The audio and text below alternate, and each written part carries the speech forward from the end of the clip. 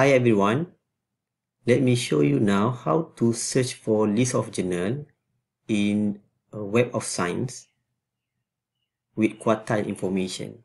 So first of all, as usual, you can go to library website lib.usm.my then if you want to access into JCR because we're going to use JCR in order to get the list of journal index in scope awards so you need to click here of campus login via open Athens so you just log in as usual so once you log in then you can search for journal citation report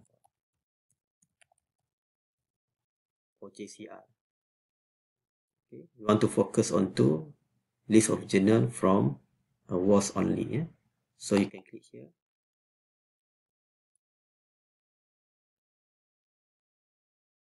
then just wait for a while. And if they ask you to log in using your Clarivate uh, account so uh, please log in first. And I have uh, log in myself so that's why you're going to see my name is available here. Then from now if you want to choose the category you can simply go here first browse categories.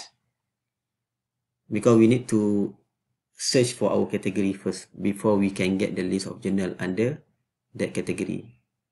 Okay? So this is the category under WoS. So you can choose from the list. So i just scroll down and i want to search for okay under social science. So i click this one.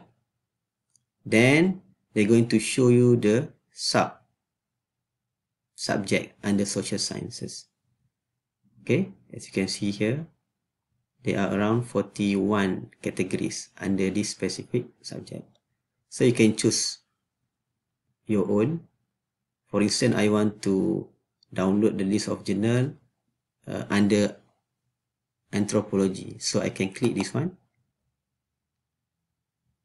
Then they provide you with two options the first option is uh, under ssci edition.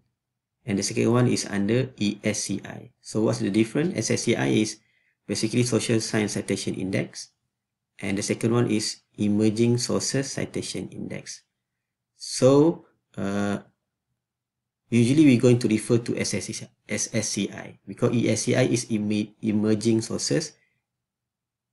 And uh, those journal under ESCI they don't provide you with uh, they don't provide you with quota information.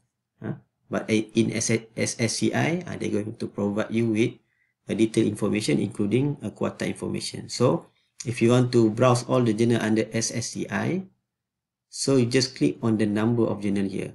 Just click on it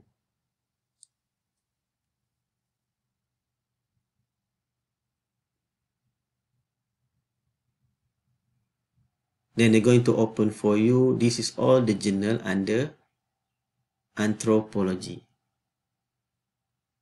So by default they're going to arrange according to uh, JIF journal impact factor. So the higher the better. So based on the JIF also they're going to produce you with the quartile information. So as you know that quartile information a quartile uh, is divided into four Q1, Q2, Q3, and also Q4. So basically Q1 is the best 25% of the journal. As you can see here, so the first 25% uh, will be Q1 followed by Q2, Q3, and Q4. Then if you want to download, you just click here, export. So I choose CSV. Then this is the list that I am looking for. So they do provide me with the information of journal name, journal abbreviation, and so on. But the most important one is of course the quartile if you are looking for uh, journal uh, with quartile information. So this is all the quartile information. So it depends on you which uh, data that you need for your own purpose. So you just uh, maintain it and those uh, that you don't need so you just uh, delete from uh, here So I think that's all from me on how you can uh, simply use uh, JCR in order to get the list of uh, journal indexed in uh, including the information of quartile.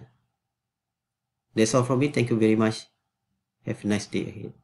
Thank you.